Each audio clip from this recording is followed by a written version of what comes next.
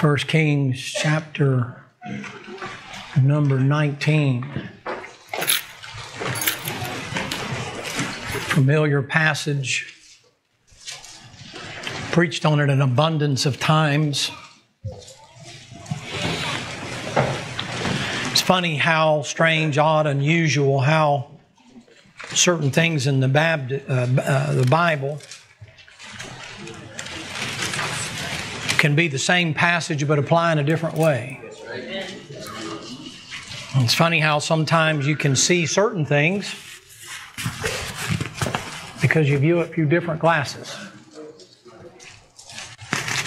I'm glad that the Bible's a living book. Had this event not occurred the way that it occurred, I don't know that he'd have been ready.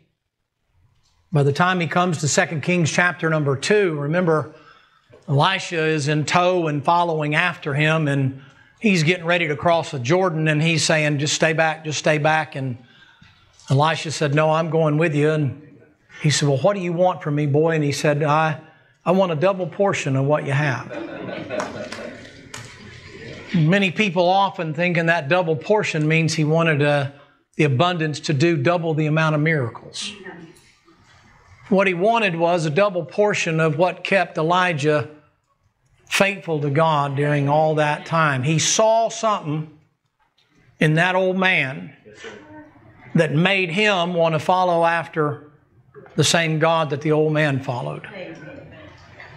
It would be one thing if you looked at the passage and you considered the fact that he's been by himself and then he's preached and then he's called down fire from heaven and you think all of that would be a great thing, but I think the keynote is in chapter number 19. I think what Elisha saw in Elijah is found in chapter number 19.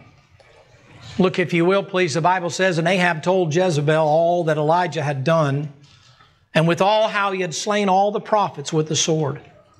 Jezebel sent a messenger unto Elijah, saying, So let the gods do to me, and more also, if I make not thy life as the life of the one of them by tomorrow about this time.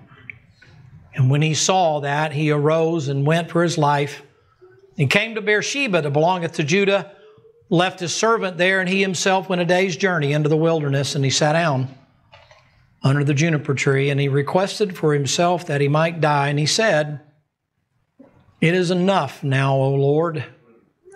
Take away my life, for I am not better than my father's. Brother Larry, take us to the throne room. Father, we come to you this morning, and, and uh, as always, Lord, we want to not take for granted being here, Lord, for the visitors that we have here, and then for our own ride, Lord, the, uh, being able to be in this church and the doors being open. We thank you for that. We don't want to take it for granted, Lord, your presence in this place ever. Uh, Lord, uh, through song and through the talents that are that are lended to you to give you glory through song. We thank you for that, from the from the piano player and the, the instrumentalist to the, the song leader to, to our pastor, our preacher, our teacher. Uh, we thank you for it and thank you for what you've given us. And we've already come through an hour this morning, Lord, of teaching of the fear of God, fear of you, uh, Lord. And we come to the message for the day, this hour, and we want our ears to be open in the right way. The brother's already mentioned the double portion. Yes. Lord, we want just a touch. That's all we want. To touch your garment, even. God, just to get a draw of you. Oh, one more time. A fresh drink of water. And we're thanking in advance for that. I thank you, Lord, for the answered prayer through these days. Lord, we try to take it a day at a time. I really used to didn't know what that meant. But we're grateful, Lord, we're understanding more about that as we go on walking with you. Thank you for the great fellowship that we know that we have with you, the walk we have with you, our relationship as being saved sinners with you, what you've done for us and who you are to us. We're grateful for that. For without that, Lord, we couldn't stand in front of your word and your man and hear the preaching and understand it. So thank you for the touch. I pray in that touch, Lord, ask, I pray you touch your man now. Be with him. We lift him up before you. We ask you, Lord, to use him in a mighty way. Open his mouth, give him liberty, and may your word have free course among us through the airwaves, Lord. Those that are not able to be here would want to. I pray, God, for them, especially uh, in this hour. Thank you for all you're going to do, and we give you the glory in Jesus Christ's name. Amen. Amen. Thank you. You can be seated. Can I point out just a couple of things? I wonder if by the end of chapter number 19, where Elisha gets called, I wonder about the timing of how that transpired. I wonder if after he had called down fire from heaven and the rain came and so on and so forth, how many people were waiting in the wings because of Elijah's popularity? Wonder if there was a bunch of people on a, might even say wannabes that might want to say, man, I wish I could do what Elijah did. I wonder if his approach to Elisha, who was plowing the last plowman with 12 yoke of oxen, meaning that there's 12 other individuals plowing double yokes of oxen, and he's coming along bringing up the rear. I wonder if his approach to the one that wound up following him would have been different had it not been for this experience. I wonder oftentimes what makes a real leader. Not all leaders are public. I mean, as a matter of fact, if you go back just a couple of chapters, you'll find out that when Elijah was dealing with this thing uh, concerning Ahab, you know what you'll find out? You'll find out that uh, Obadiah was there. And the Bible says in verse chapter number 18 and verse number 3, Ahab called Obadiah, which was the governor of his house, and Obadiah feared the Lord greatly. So when Jezebel cut the prophets of the Lord off, Obadiah took a hundred of those prophets. He's secretly continuing to do what he's supposed to do, but he doesn't have a public ministry. Not everybody's in the limelight. Not everybody gets seen. Not everybody is known or appreciated for what they do. I guarantee you there's a hundred people that are grateful that they're not dead because of Obadiah. As a matter of fact, Elijah says, Hey, where in the cat hair were you at when I was up there doing this and that and the other? He said, Hey, boss, I've been feeding 150 people that the Lord told me to take care of. Just doing a little thing along the way, just those small things that really do make a huge difference. We've been able to go places and do some things and not be concerned about frailties, feebleness, things in life that may be frivolous to you, like preparing meals because you've been very kind about helping us and taking care of certain things. Can I say this? Not everybody has a pulpit ministry. Not everybody is a public servant. It doesn't mean that everyone is not a servant. Sometimes they serve in their own way. Sometimes they do things that, even though you may not know about it, it does not mean that it is any less important. The Bible doesn't say what those hundred men of God amounted to, but God had a reason to preserve them, and I'm be willing to bet you that they had, in fact, their own ministry. Who are they? They're nameless. They're nothing more than a number. And too often in the day and time in which we live, we're looking for mentors and looking for people, but we generally aspire to be like people who get public recognition. So few people are like a Mary that walks in and does what she could and then walks out with saying out without saying anything. So many of us think that popularity and publicity means that we're successful. It's not always the case. I wonder when I read back over this passage again if there was something in the way he approached Elisha that Elisha stopped being very wealthy, going to inherit his parents' farm, going to inherit all of those oxen, already doing extremely well. What caused Elisha when Elijah came by and threw his mantle on him and he said simply this, if it's God, follow me. And if it's not, you got a nice coat. What made him think, man, God's on that guy? Uh, I think we find the answer to that question in chapter number 19. The thing that we are the most afraid of. The thing that we despise the most is our own weaknesses, our own frailties, our own having to come to grips with. I think the reason God lets us get old is to recognize we are not the answer to every man's question. Amen. I think God lets us get old, which ain't for sissies, by the way. I think the reason He does is to bring us to an end of ourselves. We got a lot of old people here, you young people should be grateful that there's still some old people around here that you can learn from, and respectfully so. Believe it or not, they're not all dumb as a box of rocks. And if the Lord tarries, you're going to be old too one day. And you're going to wish you had an Elijah in your life. You see, I don't think that Elijah's life or testimony is set forth just for preachers. I don't think it's set forth just for prophets.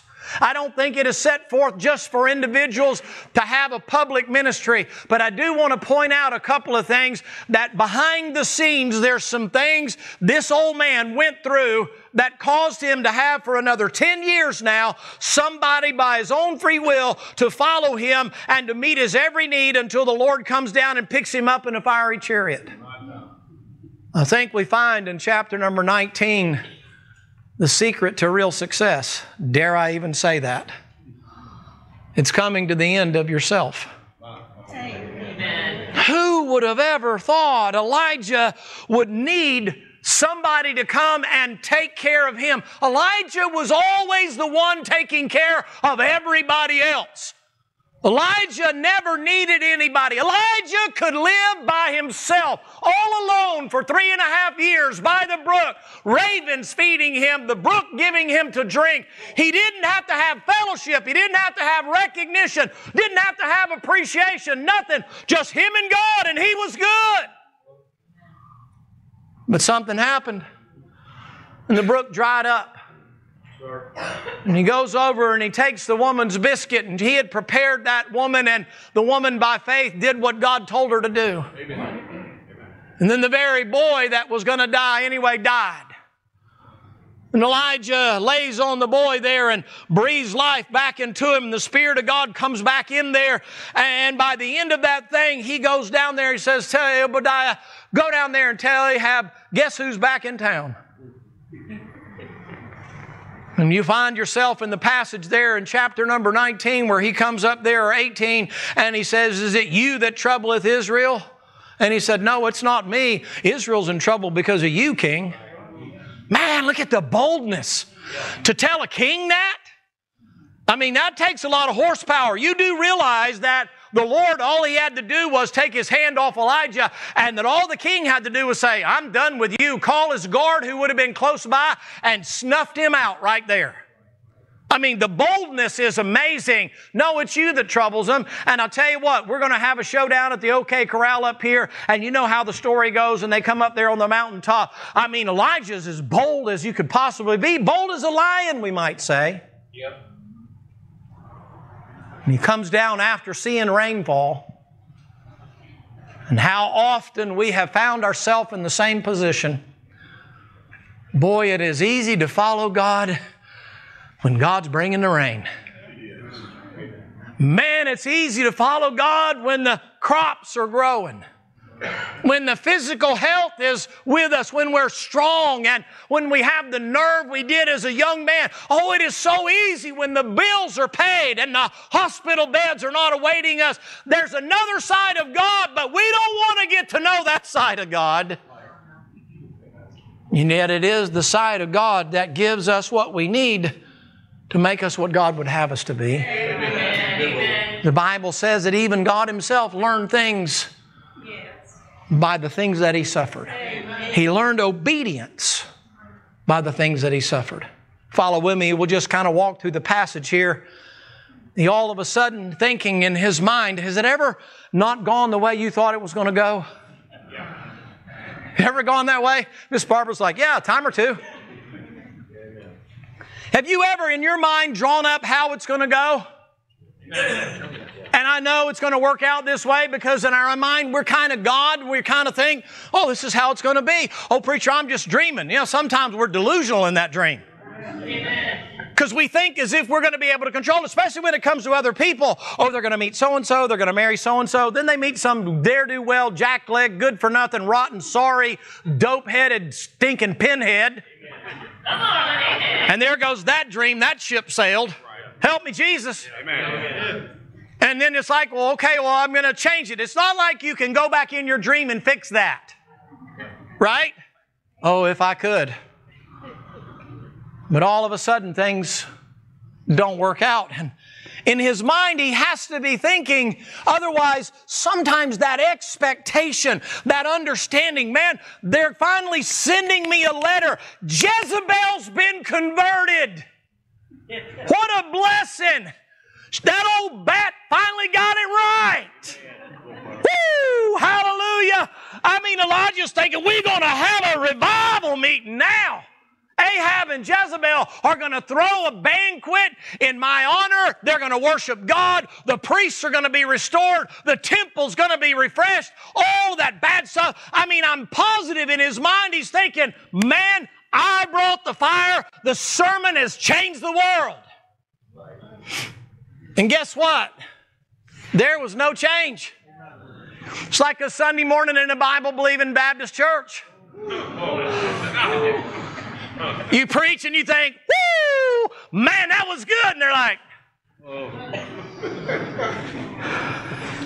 and I'm like, man, that was straight from the Lord. And you're like, I'm going to be behind the Methodist today, man.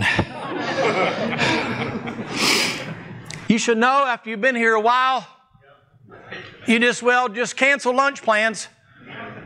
You're safer to make them for later than you are to make them earlier. Unless you plan on getting up and leaving, and if you do, we're going to talk about you. It's going to be easier when we move over there.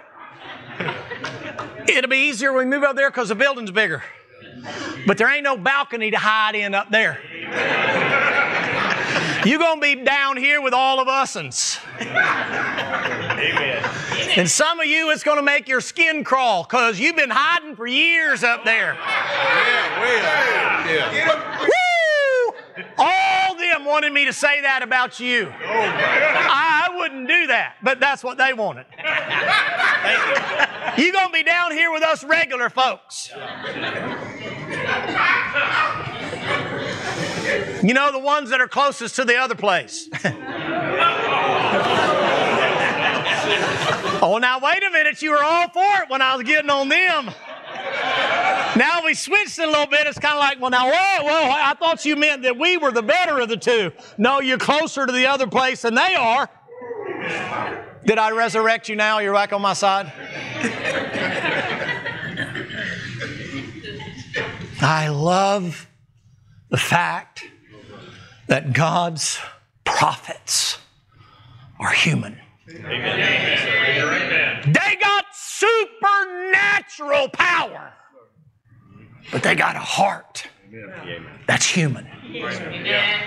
And it hurts, and it breaks, and yes, it even gets, here we go, are you ready? Depressed, downtrodden, discouraged disappointed, disillusioned. Just a prophet of God. How could a prophet of God who's hearing directly from God, how could that happen? But man, here's what I get out of that. If that can happen to a prophet of God who's going to come back in the tribulation and preach and lose his head and be raptured out of here, man, shouldn't I be careful? To lift myself above that and say, oh, that'll never happen to me. I'm one letter away one phone call away, one statement away from Juniper Junction. My GPS is already set, waiting on that one thing to happen that doesn't fit with my perception, my expectation. That one thing, and I make a dead right turn, and I'm sitting under the juniper tree saying, It's enough. Let me die. I am no better than my forefathers. But it's those moments where God shows us and teaches us things that we would not otherwise be able to comprehend or learn. But there has to be an embracing of that. Amen. Not a breaking of that. A willingness to say, Lord, Thank you for the storm. Might drown, but I'll drown with you. Thank you for the disease and thank you for the divorce and thank you for the things that we now, we didn't draw it up this way, Lord, but you know. The detour you had me to take, I like the brook Cherith. I'd rather stay there. Can I say this about Elijah before I get too far gone? He ain't a people person.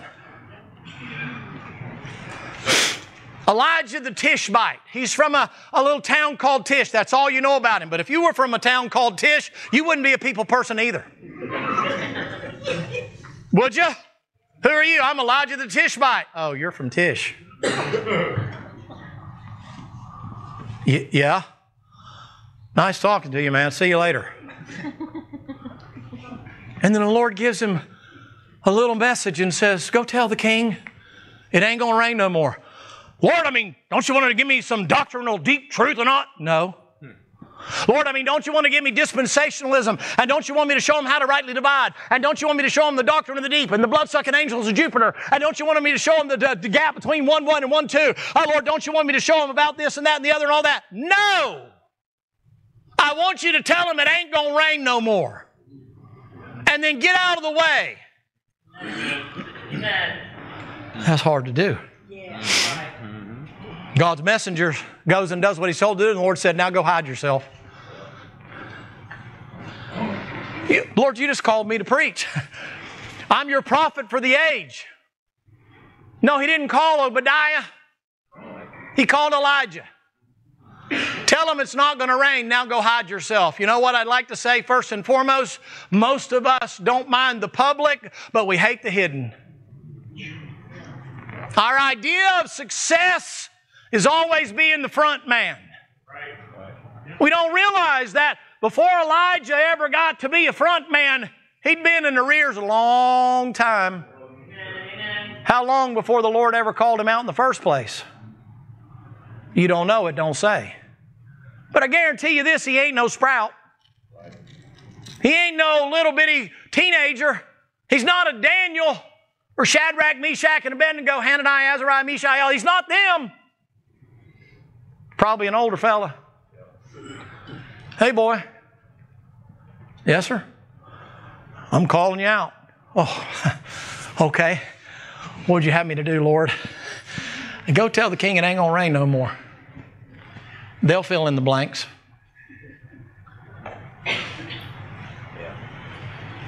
He does, and then he disappears. And it don't bother him. He never complains about being by himself. He ain't a people person. The world is a great place sometimes. But there ain't nothing that can mess it up the world faster than people. Sure. Amen. Amen. Animals don't mess it up. Am I right? Birds don't mess it up. Fish don't mess it up unless you don't catch any when you're fishing. But people, Yeah. the weather don't really mess it up. But people. Elijah said, Oh, if I can deliver the message and get away from peeps, I'm good. See you later. He's by the brook Cherith. In my mind's eye, it ain't no mud hole. I think it looks like one of them places, one of them beautiful lakes up there around Switzerland. Beautiful mountains and, and streams and snow covered. And I'm, I'm, I'm painting how I want to paint. You paint it when you preach it and make it a mud hole if you want to. I don't think it's a mud hole. I think it's crystal clear. I think you run your hand through it and you don't even know you got, you think it's air. That water's so clear. I mean, it didn't like God to always provide the best. I think that's what I think. I don't think the ravens brought him little pieces of bread. I thought they, I think they brought him prime rib and ribeye. Probably not any pork. I understand that. He didn't get bacon for breakfast. I understand that. That's supposed to be funny. I think he ate really well. I think God took really good care of him. I think when he put his head down at night listening to that Babylon Brook run, I think he was like, man, and the Lord said, let me tuck you in, make a burrito out of you. You ever done that? There ain't nothing like when you're sick and your wife comes along, she tucks you in like when you were a little baby. Oh, you guys, y'all are y'all like, oh, not me, you know. okay, I take it. Tuck me in so I don't get cold.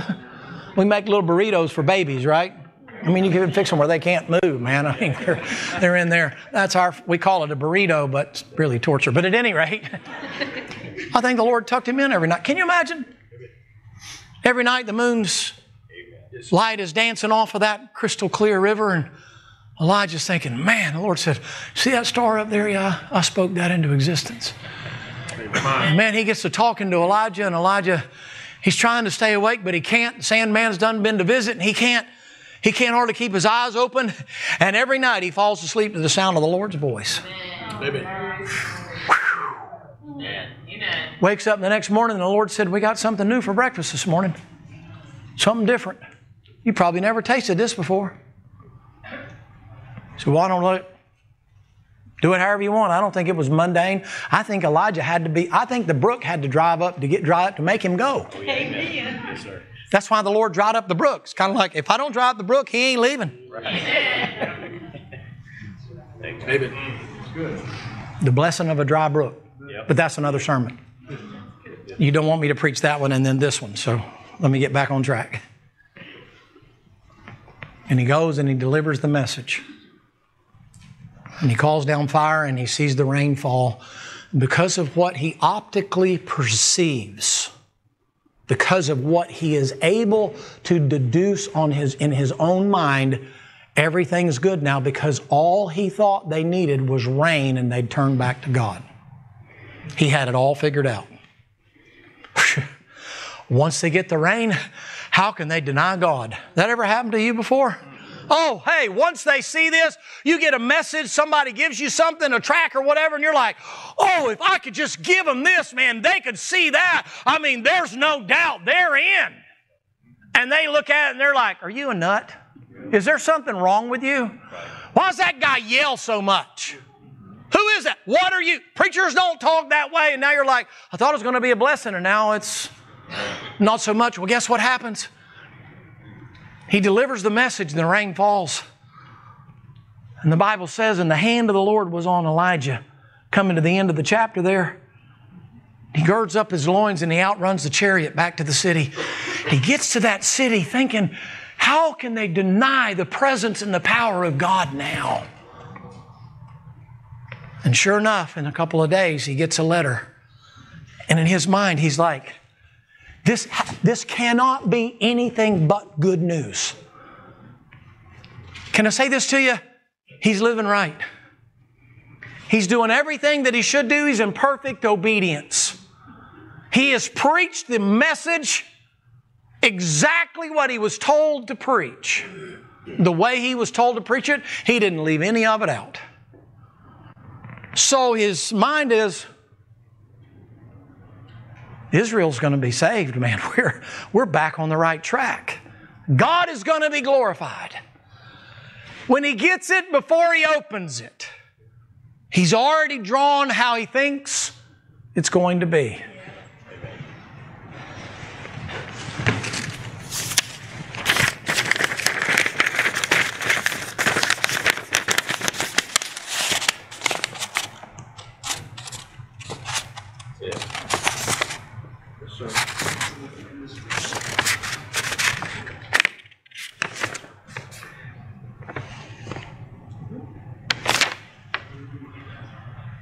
You got to be kidding me. I always knew she was a crackhead, but I didn't know that bad. she got to be smoking crack. What do you mean you're going to kill the one that brought you rain? What do you mean you're going to kill the one that's provided for you? What do you mean the one that has rejoined you as a nation back to the God that you had turned your back on, got you a reprieve? What do you mean you're going to kill me? Of all people, you're going to kill me? Look in the mirror, Jesse. You, something's wrong with you. Put the pipe down. the first one to get that is his servant. And the servant sees by the countenance of his face, he's like, uh, not good news, boss? Uh, no. Matter of fact, uh, she said she's going to make me like one of those we killed over there by Kidron. That boy starts making packing right then. He's packing his bags. He's getting ready to get out. He's figuring, well, they're going to come get you, I'm out of here. he gets to the edge of the wilderness where he gets there. He don't have to ask twice for the boy to go. He's like, okay, well, nice seeing you. Got to go now. Because it didn't work out the way he drew it up. Can I get close to home for a second? Come on. When you got married, Did you plan for divorce? Come on, preacher. Whoo, some of you all of a sudden quit praying and went like, whoa, did he just say that in church? Yeah. I don't think you're second class. Sometimes you're better at the do-over than you were in the beginning. I'm serious. You're sure a lot more gracious. Hallelujah. That's good preaching. I know you never happened to you. I know, but you didn't plan for that. Did you? It didn't work out like you drew it up, Right. Amen. did it? And God didn't give you what you thought He promised you. God never promised him. He did what he was supposed to do. But guess what? He said, I'm going to kill you. Elijah, being the good Baptist that he is, he left.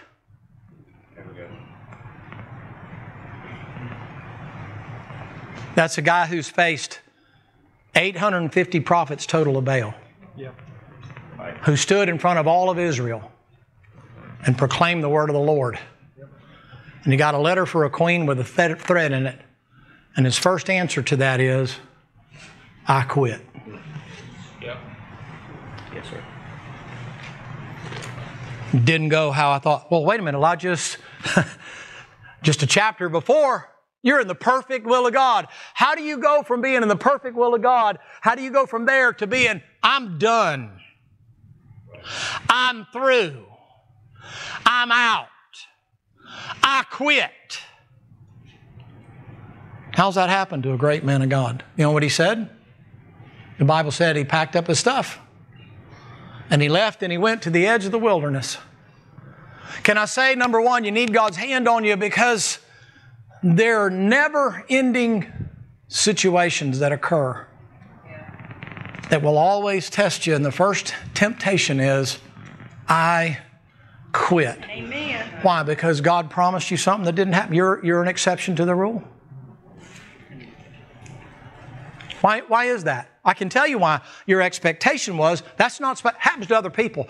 We, the people we preach about, but it don't happen to me. Right. God better not ever do that to me. I'm out of here. Come on. Do you ever think that maybe the devil is trying to get you out of where you need to be and that what you need to do when those things happen is hunker down, bow your neck, and lean into it? But when it comes to spiritual things, aren't we quick to say, I'm done? We didn't do that at work.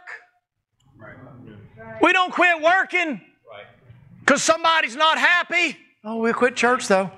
Come on, preacher. Preach. You ain't reading my Bible. I ain't praying. God's like, oh, oh, please don't quit reading your Bible. I don't know what I'll do in heaven, Gabriel.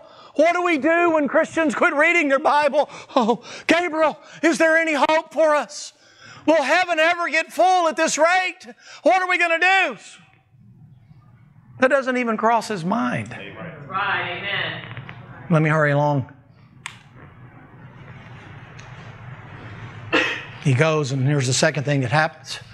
He wants to be by himself. This time, it's not because the Lord told him to be. This time, he's fixing to have a pity party. Can I say, when you get in this situation, being by yourself ain't a good place to be. Right. Amen. Right. You fixing to do something stupid. Yes, sir. Amen. Yes, sir. I don't mean to be too plain for you. I'm just saying, when you abandon everything and everybody around you, you better be careful. Because there is somebody with you, and it ain't always the Lord. There's somebody right there in that room, right there with you, talking to you at the same time. Hey, when Eve got alone and was over there staring at the tree, it was not God that showed up or Adam that showed up. It was the devil that showed up. And the devil said, I don't blame you, sugar, for being upset. He put you down. He's not letting you be what you could be. You can be as gods. Amen. God's robbing you. Amen. You shall not surely die. Oh, being alone in a condition like that's a bad place to be in. Right, amen. Bad place to be in. Amen. Elijah now begins to cut ties, get rid of the servant. You know what that means? He's gotten rid of all of his possessions. He ain't planning on being around. He doesn't have anything except what he can carry. Are you with me so far? He's going out in the wilderness. What? He has no possessions. He has no promise of possessions. He has no promise of water or victuals or food or nothing. He has no promise of any of that. He ain't planning on needing it. Are you hearing me? Because sometimes suicide is not just physical. Sometimes it's spiritual where you cut yourself off from everything that God's in. And all of a sudden, you don't care about the bread of life. You don't care about the water of life.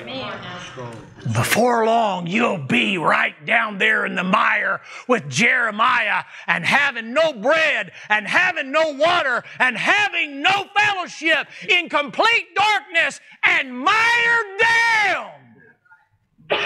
And the more you wiggle, the more you're stuck. Amen. God deserted me. Well, hang on, I'm going to get you out of the pit in just a minute. I'm trying to give you a mindset of a man who had walked with God and talked with God, been chosen by God, had had God's hand on him.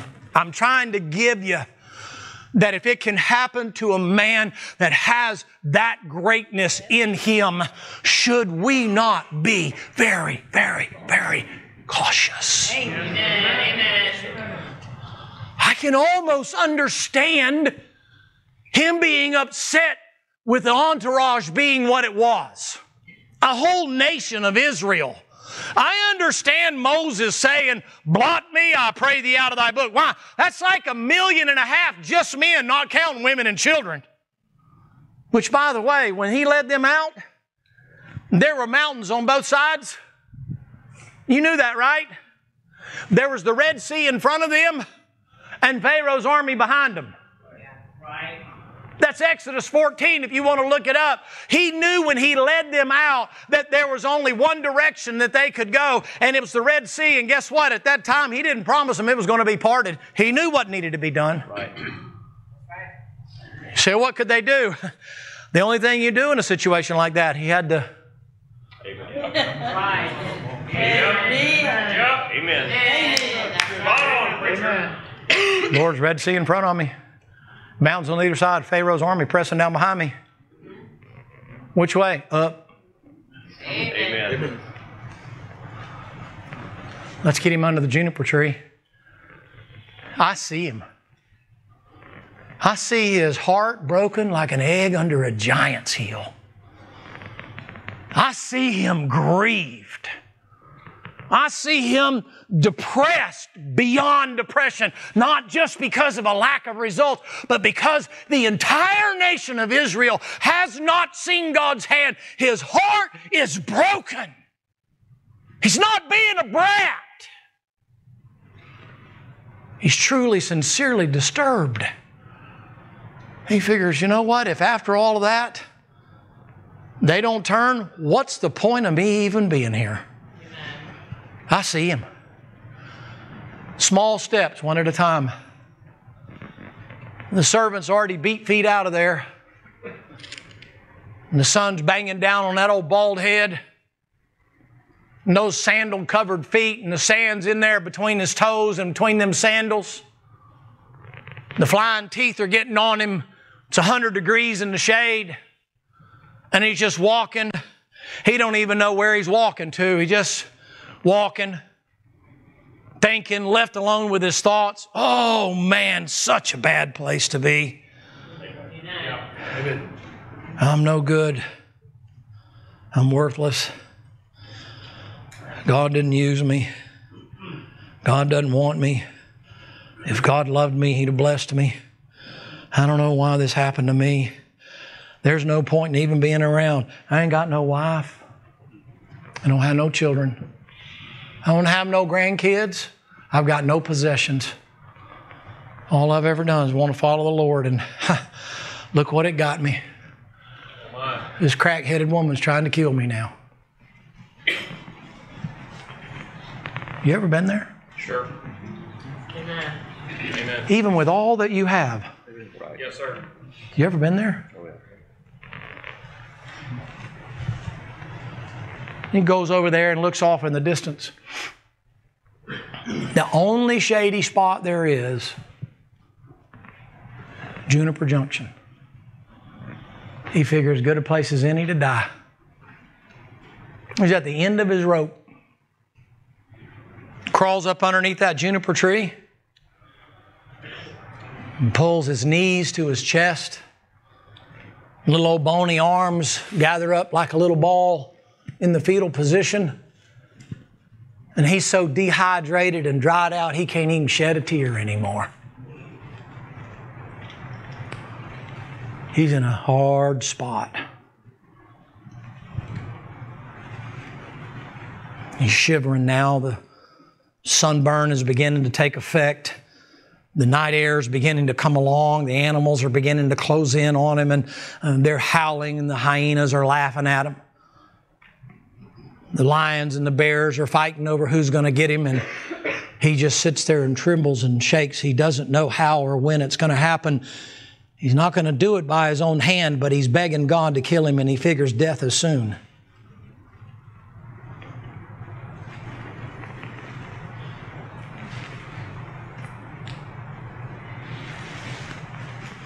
Pretty desperate situation. Amen. Could I just remind you, this is God's prophet. He is the preacher in the Old Testament. Amen. He is the man. He's the one and only one that God sends his own personal chauffeur driven limousine to pick him up and bring him to the house. It's the same guy. He don't look like it right now.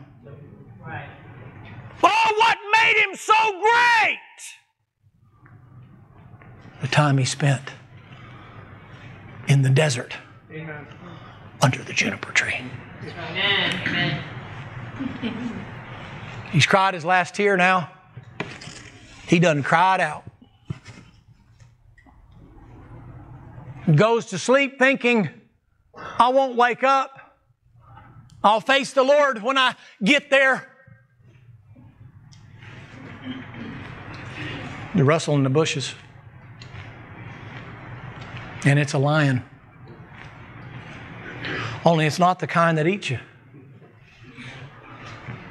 It's the same one that'll show up in the lion's den with Daniel. It's the lion of the tribe of Judah. Amen. And as the animals begin to close in, that lion steps on the scene and horrified and terror stricken, those animals begin to back up. We, we, we were just checking it out. We are so sorry, sir. And all he does is look at him and he sees that old guy laying there. I think, knowing him, he takes off his cloak, covers him up. Amen. Why disturb a baby when they're sleeping? Right. There's nowhere to go. You know what it says to me? One of the things he needed was just some rest. He just needed a little rest. While he's asleep in there, he goes over and kindles a fire. I don't know where he got it, but the Bible said he made biscuits. Cathead, Alabama biscuits. See, the Bible don't say biscuits. The trilateral root word in the Hebrew Amen. When you say bread to a southern boy, that is not interpreted loaf bread. That's cat head. Right. Can I get a witness? Amen. And a cruse of water. Why? Because sometimes we act out of character because we're dehydrated. When you turn off the spigot from the spiritual things before long, you can be dried up spiritually so much so that it affects you physically. Amen. because you turned off the fountain of life. Yeah. Yeah. Amen. Isn't it amazing how the Lord lets you control the spigot? Isn't it- I mean, isn't that strange? He, he's the fountain of life, right? The wellspring of life, right? That, that what he is? Ain't it funny how we sh- turn that thing off or cut it back a little bit? It's a little too much.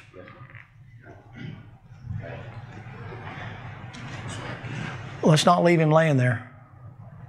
Because right now, you know what he's thinking? He's going to die. You ever been there?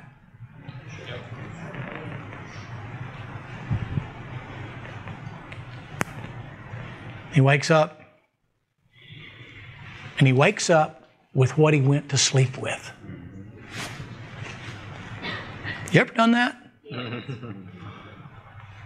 you know that when you wake up, things ain't changed while you were sleeping. That's right. Amen. You felt good while you're sleeping because you were anesthetized, right? You didn't know nothing. And then you wake up and it's like, oh yeah, That's right. welcome to life. Again. Yeah, same thing, different day. Bear with me. Are- Are you getting his mind? He's not calling Elisha. He's not thinking about doing another 10 years of ministry. He went to bed going, This is it, I'm done. And God goes, Good, Ti- time for me to get started. I've been waiting to hear that for three and a half years. Woo! Gabriel, we're going to have revival. Hey, Michael! Yes, sir, Lord. Want me to go dig up somebody else? Nope, I thought we was going to have to. And he looked across there, and that crackling fire's burning. You see the sparks when that logs pop, and sparks go up into the night sky. And over that smoky smell, smells like Cracker Barrel on a cold day. and even though you smell the smoke of the fireplace, you can smell them biscuits cooking. And the lady walks by you, and she's got a tray full of biscuits. And you know what she says to you? She says, Now, while your meal's coming, would you like some biscuits? And you're thinking, Man, I'm carnivore. I can't eat no biscuit. Don't go to Cracker Barrel if you're carnivore. You're going to cheat. Put you a piece of ham in there or something, you know, to kind of. And he looks there, lots of butter. You squeeze it, it runs down your elbow.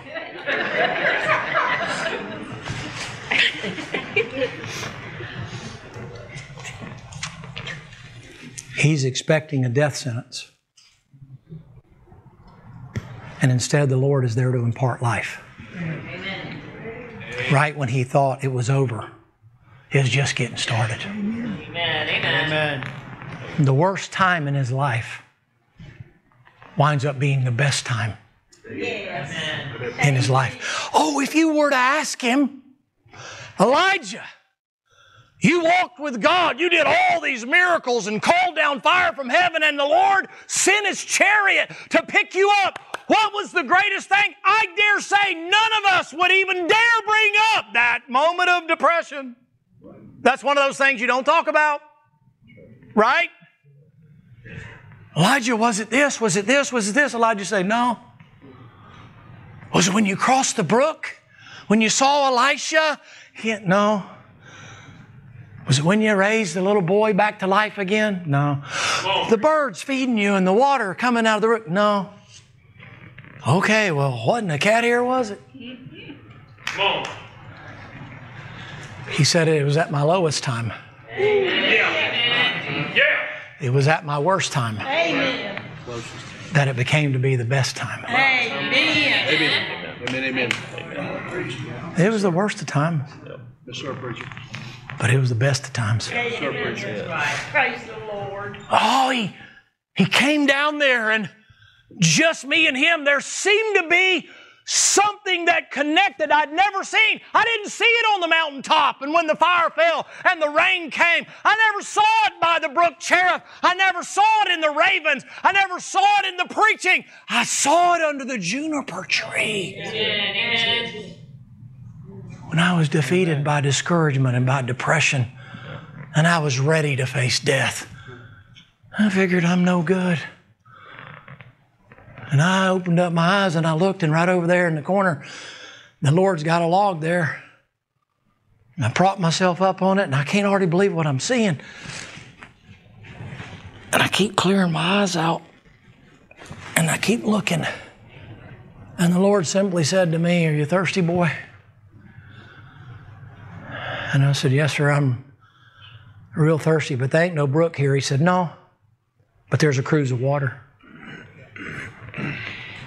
Something that I can refill for you anytime you need a refill. Thank you, Jesus. Are you hungry?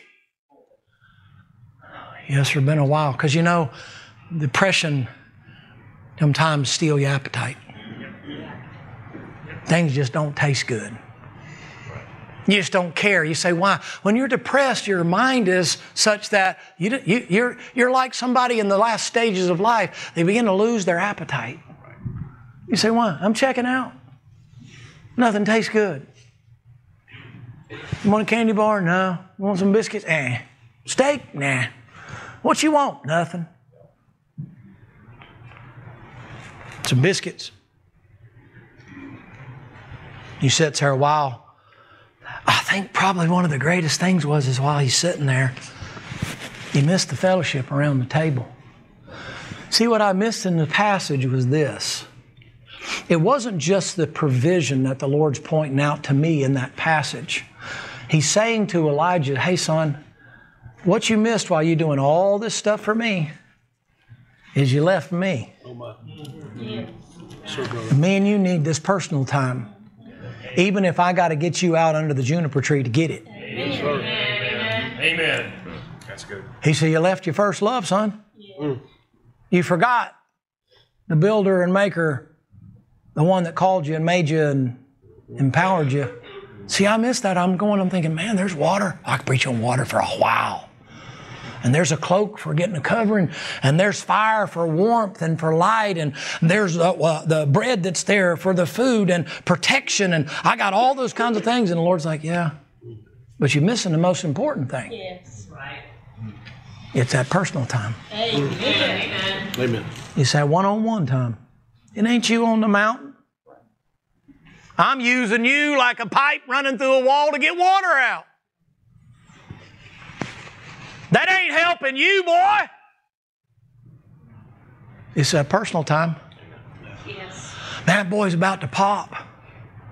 He looks like a puppy who's got his head stuck in puppy chow. His belly is swole up, man. He's laid over and he can't hardly breathe. Probably wasn't gluten free biscuits or something. I don't know. His eyes are getting heavy. The Lord says, Why don't you, why don't you take a nap? Yeah. I was looking when I went back over at about 4:30 this morning. I'm running back over everything, Brother Larry, and I'm, I'm, I'm, I'm, I must have missed where the Lord's spanking him, where the Lord's getting on to him, Come on, preacher. where the Lord's straightening him out and giving him a little word of instruction. Amen. You know what the Lord did? Just spent time with him, Amen. Amen. fed him, watered him, watched him. Amen. He's come enough to life now, realize that that's not going to happen anymore. So he's now he kind of gets worse, skin for skin, all the man hath to give for his life, is what the Bible says. And so now all of a sudden it's kind of like, oh, well, I'd like to go to sleep, Lord, but all these animals closing in around me. And he said, don't worry about that.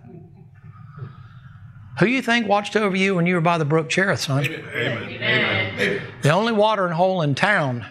Every wild animal that could be was surrounding you all the time. How is it you didn't get it up? Amen. Amen. Oh, you mean you were doing? I mean, I was doing that. Right. Amen. I mean, I was taking care of your protection the whole time I was feeding you. He goes back to sleep. This time when he wakes up, it wasn't like he woke up the first time. Right. Amen. This time he wakes up and he wonders to himself, I know I'm full, and I don't think I'm dreaming, But I sure hope I wake up with that mindset than the one I had before. Amen. And he wakes up right across the fire. There's the Lord sitting there. Morning, he says. Elijah says, Morning. Are you still here? He said, Yeah, I'll never leave you, never forsake you. Lord. Even though you messed up, Amen. I didn't drop you. Amen. I didn't quit. Amen. Amen. Man, I got so many things for you to do. Lord, I'm such a failure and I'm no good. That's not even in the passage. The pressure of unfulfilled expectations. Hmm. Well, you know what happens? The Lord says, I like the Lord. He must be Southern.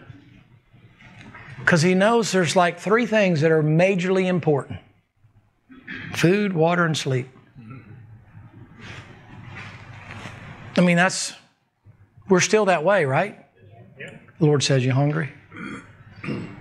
The meal I gave you a while back is not going to be enough to sustain you for where you're going. You need to keep eating. You thirsty? One drink's not going to quench your thirst. You need to keep drinking. Have you learned anything under the juniper tree? I've learned I need you. Okay, good. You know what? You're ready for the journey now. They have a little conversation there by the man cave. I got to close out, although I'd like to stay a while. You say, why? If you were to go, Brother Mitch, down there to Juniper Junction, come on by, old man. If you were to go there, you know what? You'd see my initials there. I've been there. You're a preacher. Got a good church and good people. I've been there. Amen. Amen. You look there, you know what you see? DLP underlined. Yeah.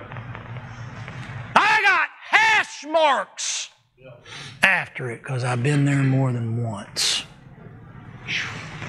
Elijah only went once. I upped him on more than one occasion. And I got into where I am starting to learn it's not such a bad place. Because sometimes it's being driven to the depths of despair that makes me realize I've been trying to handle too many things on my own, and I Amen. wasn't that I needed food and water, and I needed the fellowship Amen. That I get underneath the juniper tree. Sir. And the Lord's like, "Hey, you remember this, don't you?" I'm like, "Oh, Lord." That's how Buck says it. Lord, I'll never forget this lesson. And the Lord looks back at the angels and goes, Yeah, right. I'd like to say this my trips there are less frequent, Amen. Amen. but I'd also like to say this my trips there have been most memorable. Amen. Not because of what drove me there, but who I met when I got there. Who helped me when no one else That's right. could help me. Right. No one ever cared for me like Jesus. Amen. Amen. It's a fact of life. I look at that and I think to myself, man, if a great man like that can get in that situation, this is how I say it to me hey, boy, you better watch it. Yes. But I know this if you're a Christian, and I'm done, there's no tombstones right outside of Juniper Junction. There's plenty of tombstones outside the pig pen. Every prodigal don't make it back. Amen. There's a lot of tombstones mm-hmm. outside there. Mm-hmm. There ain't no tombstones there at Juniper Amen. Junction. You say, why? Amen. The worst time can be the best time. Amen. Amen. And it can be the time where you get restored and you go on for 10 more years. Oh, praise the Lord. And after 10 more years, you got somebody to step in, and the Lord says, Hey, you ready to go to the house? Come on, preacher. Lord, I've been ready Amen. since Juniper Junction. Amen. And now you know when he walked by and he said, If it's God, follow me. And if it isn't, you got you now. He's like, There's something about that old man. Amen. It wasn't his miracles, it was who he was hooked up with. Yeah, amen. Good preacher. You could see God on that man. That boy's like, Man, what is on you, old man? I don't know if it's God. Follow me. Something's on you. Hey, preacher, I'll be with you in a minute. I need to kill my oxen, burn my plowshare, say goodbye to mom and daddy. I'm coming. Why? Something's different about you. Amen. It wasn't Cherith. It was Juniper Junction. Amen. Heads are bowed and eyes are closed. And preached a message along these lines in a place where I was up north a couple of years ago. There was a young boy that was there. Joni, come to the piano if you would, please. And the young boy was there, and I really I didn't know because I, I wasn't sure when I was preaching it why the Lord just was He pulled me off of what I was saying, and I I started going down this theme of depression and, and so on and so forth, and I'm and I'm preaching the stuff, and and when I got finished preaching the thing and got finished with the service, the young boy was sitting there, and I said, I don't know why I was preaching on that subject, and he pulled his collar away from his neck. And he said, I do, preacher. I said, Why? What happened to you? And he said, Just a couple of days ago, he said, I tried to hang myself.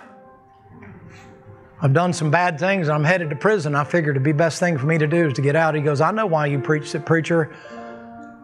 He said, Because I got saved tonight, knowing that God's not done with me yet. And God was merciful to me to let me escape what would normally have brought death. Christian, can I say this to you? I know that there are a number of us at times that go through spiritual valleys, not just physical dilemmas. God's waiting on you under the juniper tree. He's aware of that. He knows about it.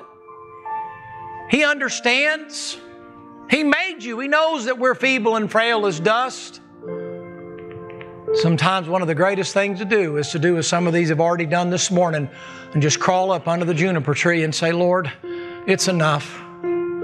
I can't go any further. I can't do any more. I'm, I'm done, Lord. You got to help me. I can assure you, I can speak my personal testimony. There'll be a cruse of water there. There'll be some biscuits there. There'll be some protection there, but let me just tell you, it's not the place, it's the person. And He's there. And if you're there, He can help you. Why don't you come? She's going to play.